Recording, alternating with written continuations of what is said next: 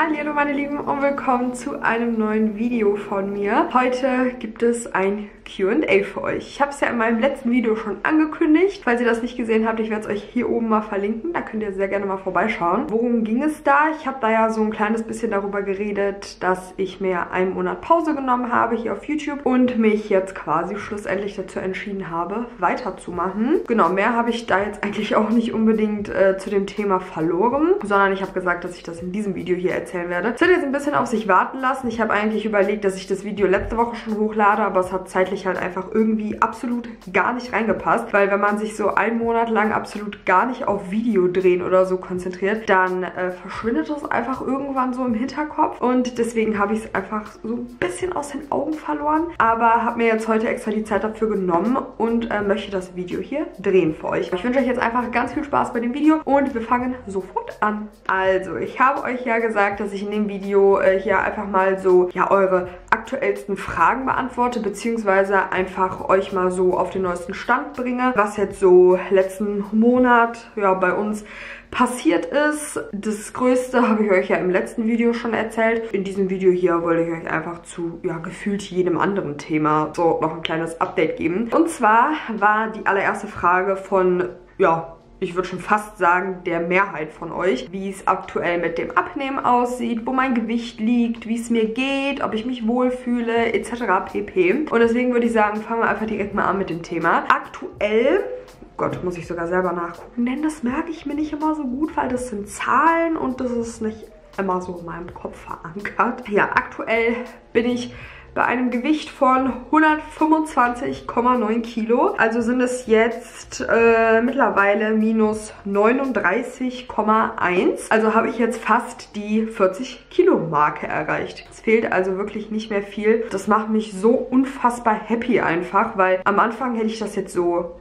gar nicht gedacht, dass es doch wirklich dann auf Dauer funktioniert. Ich habe ja auch in den ersten Abnehmen-Updates immer gesagt, dass es mir teilweise nicht so gut ging und ich glaube einfach, dass ich ja die OP auch irgendwo erstmal verarbeiten musste und erstmal ankommen musste, was das alles angeht und ich auch absolut ja keine Ahnung hatte, wie es weitergeht, also wie es so mit der Ernährung weitergeht und ich auch absolut keine Ahnung hatte, wie ich jetzt weitermachen möchte, beziehungsweise wie es mir halt gut tut.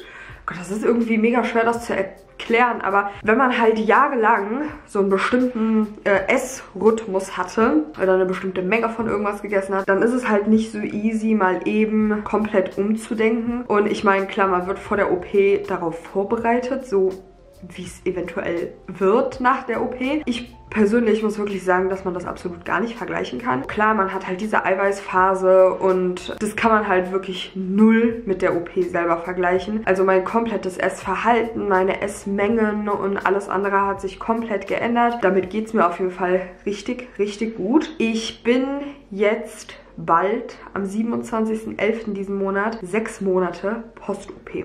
Also die Zeit verging wirklich unfassbar schnell, wenn wir mal überlegen, dass das jetzt einfach ein halbes Jahr her ist einfach, dass es das ist einfach richtig crazy. Ich möchte mich darauf nicht ausruhen, aber viele unterstellen mir immer, dass ich mich ja falsch ernähre, dass ich deswegen ja so wenig abnehme und andere einfach viel mehr abgenommen haben und keine Ahnung, irgendwie sowas. Und deswegen möchte ich einfach immer noch mal einfach zur Sicherheit dazu sagen, dass ich halt einfach ein bisschen, ja, eine erschwertere Abnahme habe. Woran liegt das? Durch mein Lipödem. Ich habe Lipödem Stadium 3, also das ist die höchste Lipödem-Stufe, die es quasi gibt. Lipödem ist eine Fettverteilungsstörung und dadurch ist Abnehmen leider nicht so easy, denn das ist alles auch krankhaftes Fett und man hat äh, starke Wassereinlagerungen etc. Lest euch am besten äh, diesbezüglich selber mal ein bisschen durch. Im Internet steht das alles mal ein bisschen besser erklärt, als ich es jemals wiedergeben könnte. Dadurch ist eine Abnahme mit Lipödem halt nicht so easy easy. Darauf hat meine Ärztin mich aber schon vorbereitet, meine Ernährungsberatung hat mich darauf schon vorbereitet und haben gesagt, Frau Scholz, Ihnen muss aber bewusst sein, dass Sie nicht mit so krassen Abnahmen rechnen können wie andere Leute ohne Lipödem. Und das war mir in dem Augenblick auch total egal. Mir war einfach nur wichtig, dass äh, ich überhaupt abnehme und mir war jetzt egal im Endeffekt, wie schnell ich abnehme. Und wenn wir jetzt einfach mal diese 39,1 Kilo nehmen, geteilt durch 6 sind wir bei ungefähr 6,5 Kilo Jeden Monat. Ich persönlich finde, 6,5 Kilo in einem Monat ist vollkommen legitim. Wenn wir das jetzt mal geteilt durch 4 nehmen, sind das 1,6 Kilo die Woche. Bei einer normalen Abnahme wird ja, glaube ich, sogar gesagt, man soll nicht mehr als 500 Gramm die Woche abnehmen. Korrigiert mich, wenn es falsch ist, aber ich glaube, dass es so war. Deswegen bin ich ja sowieso schon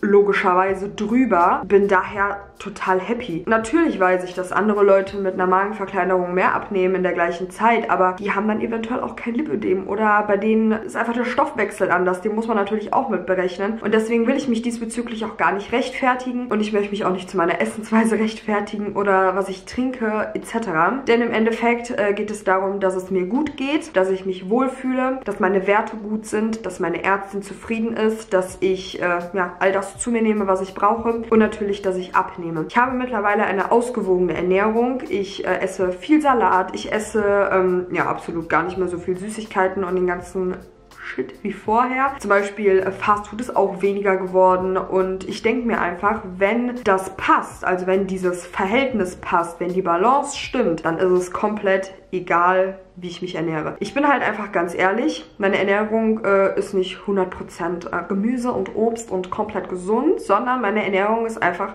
komplett normal. Wenn ich heute, keine Ahnung, zum Frühstück, weiß ich nicht, machen wir Pancakes oder so, warum auch immer, obwohl ich die eigentlich seit der OP so gut wie gar nicht mehr gegessen habe. Ich glaube einmal. Aber sollten wir zum Frühstück zum Beispiel Pancakes machen, dann gibt es dann mittags einen Salat oder so. Dass das halt einfach sehr ausgewogen ist und damit komme ich sehr, sehr gut klar. Ich glaube, ich komme auch voll vom Thema ab, aber mir egal, ich habe jetzt einfach gerade Bock zu reden, deswegen mache ich das einfach. Genau, aber es zählt ja auch zu der Frage, wie es mir aktuell geht und ich muss wirklich sagen, mir geht es aktuell wirklich sehr, sehr, sehr, sehr gut. Ich wiege mich super unregelmäßig unregelmäßig. Also ich wiege mich mal alle drei Wochen, dann mal alle zwei Tage, dann mal alle vier Wochen. Also es ist wirklich super unterschiedlich, so wie ich da gerade Bock drauf habe, so wie ich da gerade dran denke. Ich mache mir da auch null Druck. Also wenn was runter ist, ist was runter. Wenn nichts runter ist, dann ist es genauso okay. Weil, äh, ne, Wassereinlagerung, äh, jeden Tag kann man bis zu drei Kilo Gewichtsunterschied haben wegen, ne, Periode, Wassereinlagerung etc. Deswegen mache ich mir da keine Gedanken mehr. Ich weiß, dass ich abnehme. Mein Körper ist mittlerweile auf Abnehmmodus eingestellt. Ich glaube, nach fast 40 Kilo Abnahme, äh,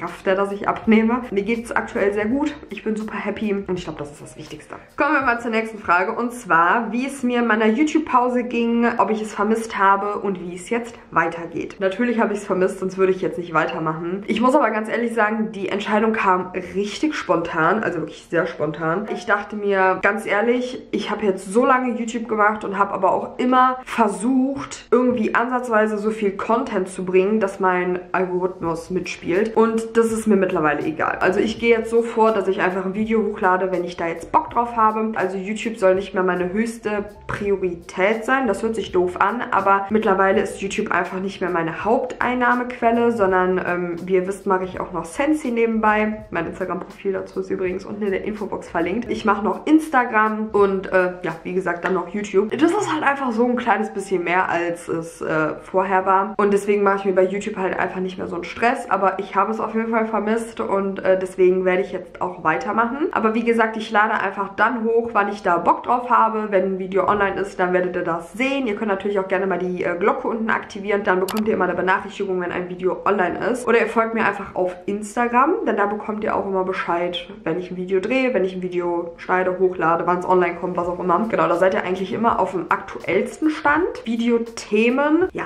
das ist immer so eine Sache. Also mein Kanal bestand ja eigentlich so aus dem Thema Abnehmen und Fashion so ein bisschen. Ich weiß halt nicht, ob ich das beibehalten möchte oder ob ich das ändern möchte. Also beibehalten Eventuell ja, aber wahrscheinlich nicht beibehalten regelmäßig jede Woche von dem und dem Content ein Video, sondern vielleicht nur einmal im Monat ein Video zum Thema Fashion oder nur alle zwei Monate ein Video zum Thema Fashion oder dazu oder dazu. Und ich möchte mir auch keine Gedanken mehr machen, so lohnt sich das jetzt, das hochzuladen oder lohnt es sich nicht. Ganz ehrlich, wenn sich jemand das Video angucken möchte, dann schaut es sich an. Wenn er es sich nicht angucken möchte, dann ist das genauso okay. Deswegen werde ich jetzt einfach nur noch das hochladen, worauf ich Bock habe. Ich habe mir auf jeden Fall gedacht, dass dass ich mehr so in Richtung Cleaning gehen möchte, so ein bisschen, wie gesagt, putzen, dekorieren etc., denn ich liebe solche Videos einfach selber zu schauen. Möchte davon einfach selber so ein kleines bisschen mehr hochladen. Wer es gucken möchte, wie gesagt, der ist natürlich herzlich willkommen und für den das nichts ist, der kann sich dann natürlich gerne die anderen Videos anschauen. Ich weiß allerdings noch nicht, wo mich das hier alles hinführt, also zu 99% werden auf jeden Fall keine Vlogs mehr online kommen, einfach weil ich mich mit diesem Vlogging nicht mehr auseinandersetzen kann. Also ich, äh, ich identifiziere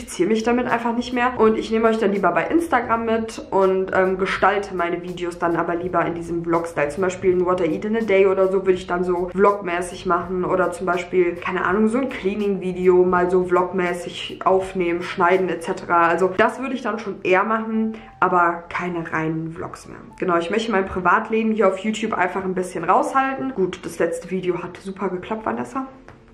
Äh, aber einfach so, ja, so Privatleben, keine Ahnung, was einfach unseren Alltag angeht. Das möchte ich hier auf YouTube einfach mittlerweile ein bisschen raushalten. Das zeige ich euch dafür dann lieber auf Instagram. Genau, damit fühle ich mich einfach wohler mit der Entscheidung. Also ich würde einfach sagen, so die Zukunft zeigt, was das hier so, wie das hier so wird. Ich würde mich natürlich über jeden freuen, der hier bleibt oder der natürlich neu dazukommt. Wenn ich mein Action Haul hochlade, dann lade ich ein Action Haul hoch oder mal ein DM Haul etc. Also ich mache mir da keinen großen Druck mehr. Einfach so, wie ich gerade Zeit habe, wie ich gerade Lust habe. Ja, und ich würde sagen, jetzt kommen wir langsam mal so zum Ende, aber ein bestimmtes Thema noch. Und zwar, ja, wie es mir halt aktuell geht, wie es bei mir aktuell aussieht halt mit Schwangerwerden, mit Verhütung etc. Ja, also ich würde sagen, so im Großen und Ganzen geht es mir relativ okay. Also ich würde jetzt nicht sagen, dass es mir supi geht. Es ist okay. Ich weiß nicht, was man da so großartig zu sagen soll. Also wer es nicht mitbekommen hat, ich äh, hatte in der siebten Schwangerschaftswoche leider einen äh, Abgang. Glücklicherweise glücklicherweise ist das alles gut gelaufen und ich musste nicht ausgeschafft werden etc., sondern das ist alles komplett von alleine abgegangen. Ja, wir hatten seit Anfang 2017 jetzt einen Kinderwunsch und es hat bei uns nie funktioniert und jetzt durch die OP habe ich ja wie gesagt fast 40 Kilo abgenommen und mittlerweile ist mein Körper wahrscheinlich bereit dazu gewesen, schwanger zu werden. Wie viele von euch wissen, habe ich auch PCO. Nicht krass ausgeprägt, aber es ist auf jeden Fall da. Jetzt hatte ich heute nochmal einen Termin bei meiner Frauenärztin Ärztin einfach nochmal zur Kontrolle und ähm, sie hat auch nochmal bestätigt, dass alles ohne Probleme abgegangen ist. Also ist es nichts Schlimmes irgendwie noch übrig. Mein äh, HCG-Wert ist mittlerweile auch unter 5, also eigentlich gar nicht mehr vorhanden. Also wer PCO nicht kennt, hauptsächlich geht es zum Beispiel darum, dass sich an den Eierstöcken sehr, sehr viele Bläschen oder Zysten oder so bilden und das ist halt eigentlich nicht gut. Ich kann euch mal hier einen Unterschied einblenden zwischen einem PCO-belasteten Eierstock und einem normalen Eierstock. Mein rechter Eierstock äh, hat sie heute nochmal nachgeguckt. Der sieht allerdings nicht so schön aus. Also da sind mehrere Bläschen dran, aber es sieht jetzt nicht dramatisch aus, aber es sieht halt ne, nicht normal aus. Man sieht halt, dass er PCO belastet ist. Mein linker Eierstock hingegen sieht sehr gut aus. Da sind wirklich nur ein paar Bläschen, also da ist gefühlsmäßig fast gar nichts. Meine Schleimhaut baut sich aktuell wieder auf. Sie meinte, dass es so aussieht, dass man vielleicht in zwei, drei Wochen sagen könnte, dass ich einen Eisprung kriege. Durch die Fehlgeburt ist das jetzt halt alles nochmal komplett nach hinten verschoben. Ich weiß, dass ich erst zu dem Zeitpunkt fünf Monate Post-OP war. Wir haben es auch nicht darauf angelegt, schwanger zu werden, um das nochmal zu sagen, äh, sondern es ist passiert. Ich habe immer gesagt, wenn das passieren sollte, auch in der Zeit, dann hat das meiner Meinung nach einen Grund. Es sollte nicht bleiben, leider. Wir versuchen jetzt auch aktiv, also wir versuchen auch jetzt weiterhin nicht aktiv schwanger zu werden. Das war das, was ich sagen wollte. Wir verhüten ganz normal mit Kondom. Ich nehme keine Pille etc. Ich möchte auch keine Spirale oder sonstiges und ich bin mir auch gar nicht sicher, was da genau jetzt richtig funktioniert durch meine OP und was nicht funktioniert etc. Und äh, deswegen, ich möchte sowas alles auch gar nicht zu mir nehmen. Dadurch, dass ich aber ja, wie gesagt, PCO habe, ist es nicht so einfach für mich, schwanger zu werden. Leider. Wir hoffen es aber einfach mal, dass es nochmal auf natürlichem Wege klappt, dass es dann auch bitte, bitte bleibt. Wir würden uns natürlich unfassbar darüber freuen, wenn wir bald ein Regenbogenbaby bekommen werden, wenn unser kleiner Dino eine äh, Schwester oder einen Bruder bekommt. Life goes on. Wir warten einfach. Irgendwann wird es funktionieren. Dann haben wir hier einen kleinen Bauchbewohner. Genau, also das war jetzt mein Q&A hier. Ist ein bisschen länger geworden. War so ein kleines Update. Ich quatsch einfach mal drauf los Video. Ich hoffe, es hat euch natürlich gefallen. Lasst mir einfach wie immer sehr gerne euer Feedback unten in den Kommentaren. Da, da würde ich mich sehr, sehr doll darüber freuen. Ihr könnt mir auch sehr gerne mal ein paar Videowünsche unten in die Kommentare schreiben. Einfach, was ihr so jetzt in der Weihnachtszeit, Vorweihnachtszeit oder auch im nächsten Jahr oder so gerne sehen möchtet. Was euch für Themen interessieren, was euch für Videos im Gesamten interessieren. Deswegen lasst mir das einfach sehr, sehr gerne mal unten da. Da würde ich mich wie immer sehr, sehr, sehr, sehr dolle drüber freuen. Genau, und sonst würde ich einfach sagen, wünsche ich euch noch einen wunderschönen Tag. Vielen Dank fürs Einschalten und wir sehen uns dann einfach ganz bald im nächsten Video wieder. Tschüss!